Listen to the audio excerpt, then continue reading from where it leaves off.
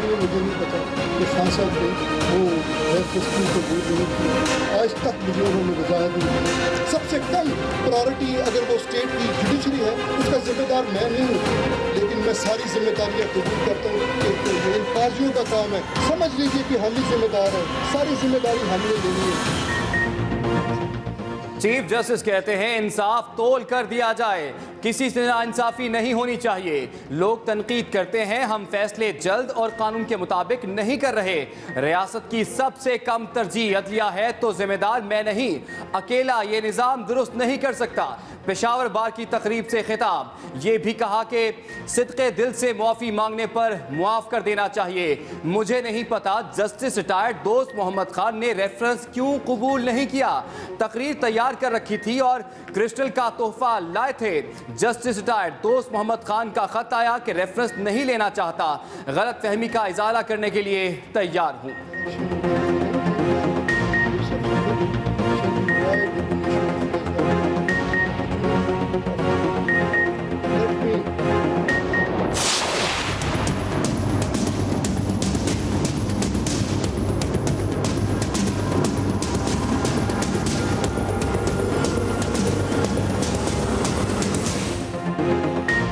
Justice نے خیبر پختونخوا کے دارالحکومت میں بڑی عدالت بھی لگائی۔ کے پی کے اسپتالوں کے حوالے سے کیس میں عدالت، چیف سیکرٹری اور سیکرٹری ہیلتھ پر برہم۔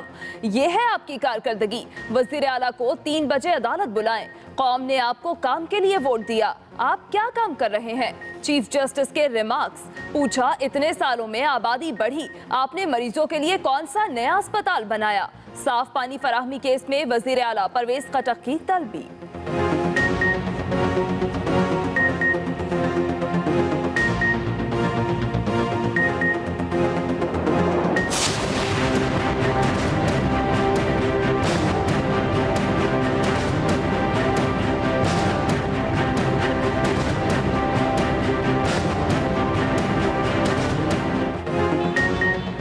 جسٹس عاقب نثار کا پشاور کے لیڈیڈنگ اسپتال کا دورہ۔ مریضوں اور ڈاکٹروں نے شکایات کے انبار لگا دیے۔ اسپتال میں علاج کی مناسب سہولیات نہ ملنے کا شکوہ۔ آفیسرز بھی پھٹ پڑے۔ کہا، کئی ماہ سے تنخواہیں نہیں دی جا رہی۔ چیف جسٹس کی آمد سے پہلے انتظامیہ کی دوڑیں۔ اسپتال کو چمکا ڈالا۔ صوبے کے سب سے بڑے اسپتال کے لیے نئے اسٹریچرز بھی نکل آئے۔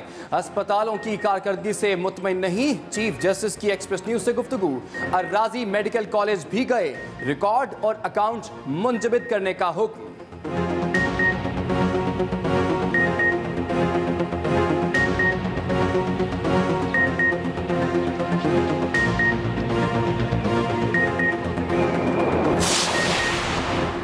خیبر پختونخوا میں پروٹوکول اور سیکیورٹی سے متعلق case. Chief justice of Pakistan کا شخصیات سے پولیس سیکیورٹی واپس لے کر عوام کی حفاظت میں لگانے کا حکم۔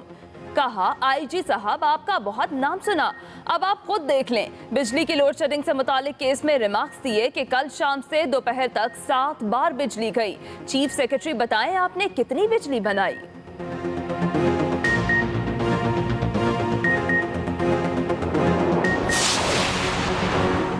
اسلام آباد نیو ایئرپورٹ پر پراسرار ڈرون کی پرواز۔ اے ایس ایف نے فائرنگ کر کے ڈرون مار گرایا۔ گولیاں لگنے سے ڈرون کیمرے تباہ ہو گئے۔ ایئرپورٹ پر بغیر اجازت فلم بنانے والے تین چینی باشندے بھی گرفتار۔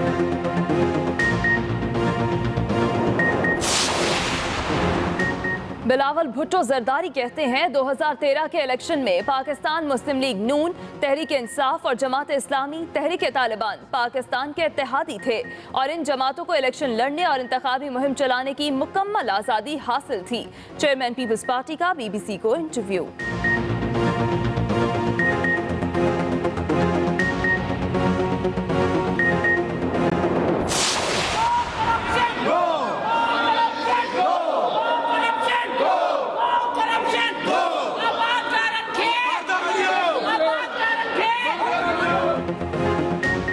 سندھ اسمبلی میں گرما گرمی، اپوزیشن کا شدید احتجاج اور شور شرابہ۔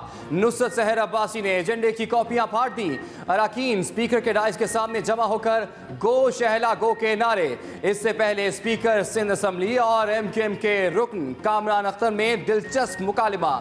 کل آپ بجلی کے بلب لگا کر گھومتے رہے، کتنے واٹ کے بلب تھے؟ سپیکر کا سوال۔ سر ساٹھ واٹ کے بلب لگا رکھے تھے۔ کامران اختر کا جواب آغا سراج دورانی بولے دلہے کی طرح اچھے لگ رہے تھے۔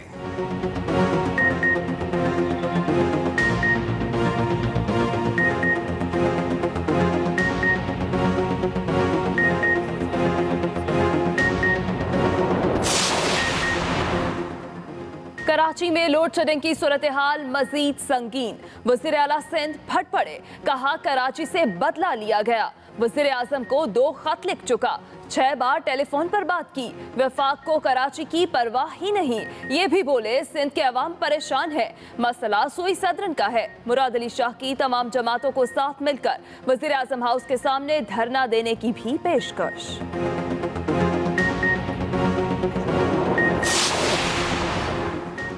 امریکہ پاکستانی سفارتکاروں کی نقل و حرکت کو یکم مئی سے محدود کرنے کا ارادہ رکھتا ہے۔ دونوں مالک رابطے میں ہیں۔ ترجمان دفتر خارجہ کی بریفنگ۔ ڈاکٹر فیصل کہتے ہیں کہ شام کی صورتحال پر شدید تحفظات ہیں۔ کسی بھی جگہ کیمیائی ہتھیاروں کے استعمال کے خلاف ہیں۔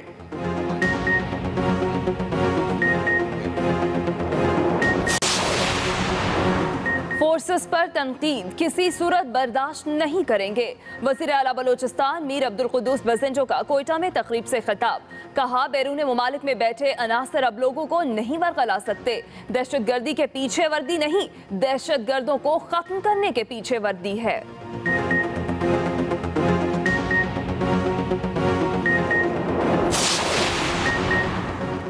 تحریک انصاف نے پیپلز پارٹی کی ایک اور بڑی وکٹ گرا دی۔ عمران خان سے پیپلز پارٹی کے رہنما ندیم افضل چند کی ملاقات۔ عمران خان پچیس اپریل کو ندیم افضل چند کی دعوت پر سرگودا کا دورہ کریں گے۔ ندیم افضل چند اس موقع پر پی ٹی آئی میں باضابطہ شمولیت کا اعلان کریں گے۔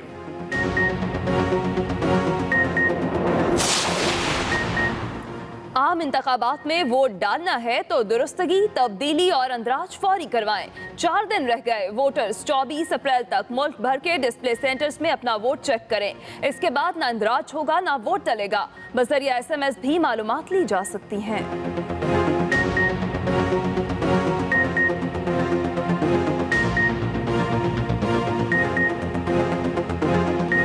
دھرنوں نے لاہور کو جام کر دیا۔ لاہور میں چار مقامات پر دھرنا۔ سیکرٹیریٹ کے سامنے اساتذہ کے احتجاج کے باعث ٹریفک نظام درہم برہم۔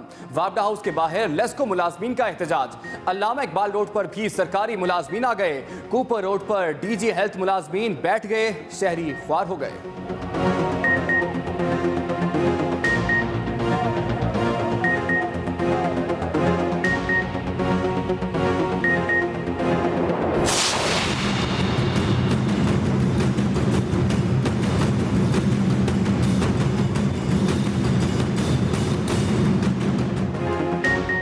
گجرات میں ایک ماہ کے دوران تیزاب گردی کا تیسرا اندوہناک واقعہ۔ رشتے کے تنازع پر نواہی گاؤں میں سگے ماموں نے بیٹے اور دوست سے مل کر دو بھانجیوں پر تیزاب پھینک دیا۔ دونوں بہنیں سہیلی کے ساتھ یونیورسٹی جانے کے لیے بس کے انتظار میں کھڑی تھیں۔ حالت تشویشناک۔ ایک ملزم گرفتار وزیر اعلیٰ پنجاب کا نوٹس۔ باقی ملزموں کی بھی فوری گرفتاری کا حکم۔